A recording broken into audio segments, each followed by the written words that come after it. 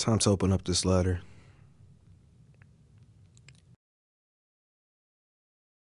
Denied. Man, this is some bull. God, why does this have to happen to me?